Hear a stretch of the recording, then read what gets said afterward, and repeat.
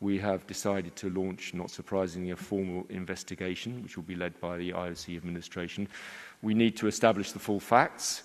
Uh, we need to hear everyone involved. That obviously can take time. Um, and in the meantime, obviously, our first concern is, is, is, is for the athlete. As I said yesterday, we are expecting, we have asked for a report from the NOC uh, today. We do need to establish the facts before we take any further action.